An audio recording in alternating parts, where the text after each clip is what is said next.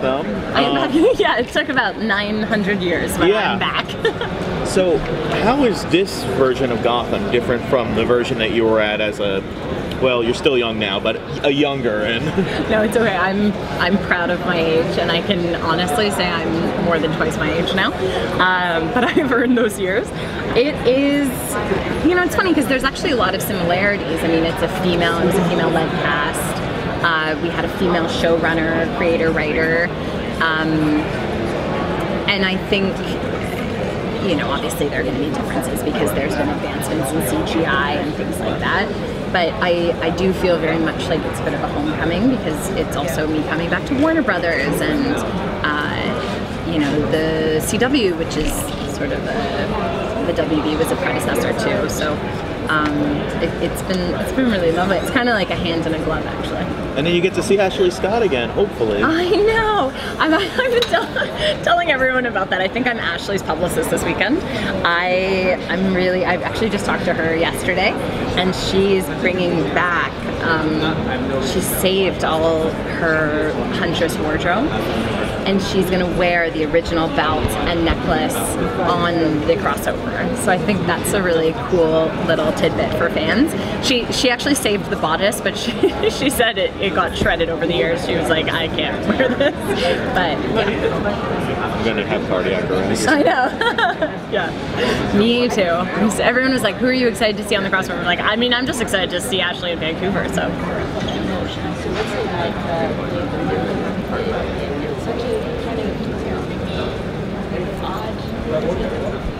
Yeah, I personally think that it's always the most fun to play the bad guy. Um, you know, when you're the heroine, and, and Batwoman's a little bit different, uh, as is Batman, because there's a darker side to them, and, and that's part of who they are. But usually, when you're playing the heroine, you have to be, or the hero, you have to be likable. Um, you don't have to worry about that when you're the bad guy. You can be liked for being bad. And so it's very fun, and Alice is such a juicy character because there's so many layers to her. So she's, you know, not just bad for the sake of being bad. There's a reason that she's bad. There's something that's motivating her. And then, of course, you know, she's twin sisters with Batwoman, and and so that's been really fun to unpack and explore. And it's it's such a unique relationship. Um, so Ruby and I have had a very good time doing that. uh, but yeah, I, I would. I I actually, I think, would prefer playing bad guys for my entire career. But I, I joke, um, and I've said it so many times before. But I, when I got this part, I was telling all my friends, and I was really excited, and I was explaining the character, and they, you know, they all said to me, "You are perfect for this part," and I was like, "Yes, thank you." And then after a while, I was like, mm, "But she's insane, so what does that say about me?" but I get all my crazy out at work, I think. How do you feel she became the, the person she became this character? Well, we'll actually go into the backstory and how Alice, you know, how Beth evolved to Alice in the show. Um, uh, you know, it started when she was 13 and there was the accident and she was presumed dead at the time. Obviously, she was not, and we're gonna see throughout the season what happens, and it's it's it's really good, and it's been a pleasure to play. So. That, that you would like Well, personally, my, that's a that's a difficult question because she's so nuts. But I really have enjoyed learning the butterfly knives. That's been really really fun, and I it's just such an interesting quirk of, of Alice's because she's talking, but it's almost like um you know the way people twirl their hair or bite their nail. It's it's kind of her tic, and she just does it. But it's it's so menacing. However, the way she does it is just you know like someone twirling their hair. Uh, it was a challenge to learn how to do them. But now that I know them, it's like my party trick. so people come over, I'm like, want to see me do my butterfly knife? and it's so that's been my most enjoyable thing because now I'm a badass. Uh, we are going into nine. Yes. Maybe you can speak on specifics, but have there been certain scenes or upcoming scenes that you look forward to doing or you really, really enjoy? Yeah, I I mean I always have a blast with Ruby on set. She's really lovely to be on set with.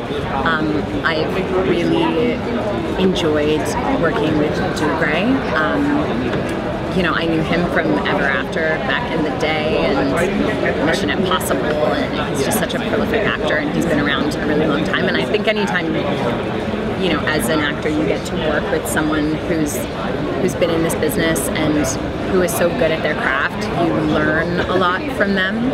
Uh, so I, I really, really genuinely enjoy my time with him on set. And he's also just like a bro. I, I love him a lot. Last question, we can learn more about your childhood. Are there going to be like more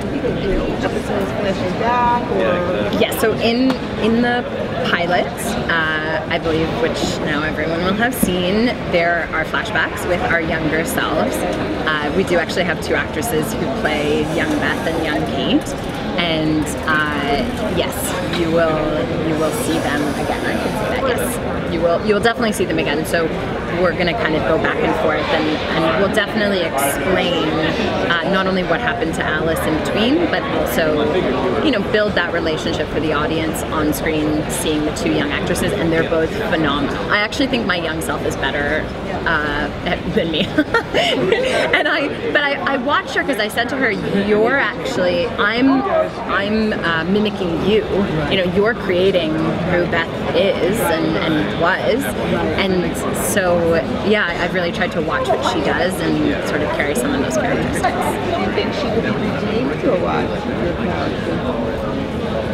I I think some of the best characters. One of my favorite examples is Walt Whitman in Breaking Bad, because you always root for him. You know, he does these horrific things, and yet you root for him because you think that he can be redeemed. And so I have played Alice, whether or not she can be.